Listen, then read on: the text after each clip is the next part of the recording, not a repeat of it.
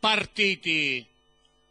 Allo steccate Herculanus, all'esterno Banadec, Jolly of Naitiri, Nuracale, Pierdelun, Tappingo, Flower Bomb, Harmon Blue, for Me, Beccantic, Next Way, Tiranitare, Guinness Wheel.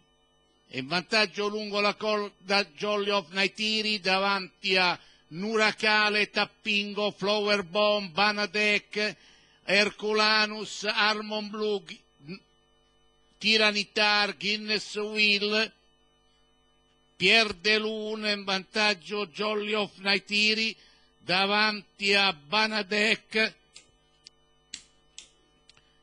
Nuracale, Tappingo, Tiranitar, Guinness Will a centropista e sempre in vantaggio Jolly of Naitiri davanti a Banadec, Ercolanus, Tiranitar, passa Ercolanus davanti a Tiranitar, Nuracale e Next Way, in vantaggio Ercolanus davanti a Tiranitar, Next Way, Backhunting e Nuracale.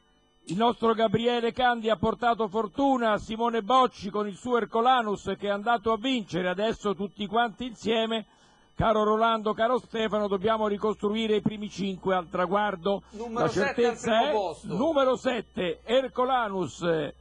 Poi al secondo posto il Tiranitar, cavallo che Stefano ci aveva suggerito di considerare, ovvero Tiranitar, il numero 11. Bravo.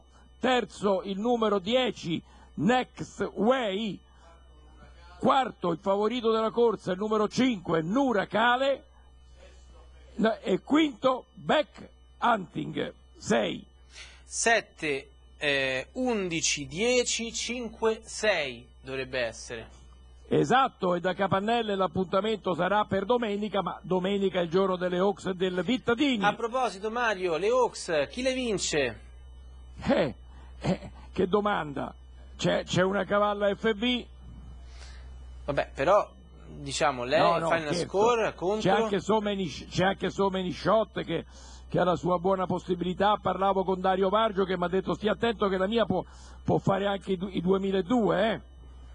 anche se è una figlia di Dutch Art vale a dire Lady Dutch. esatto Va bene. Grazie e buona serata Grazie a tutti. a tutti e per la A tutti, a collaborazione. tutti. a presto.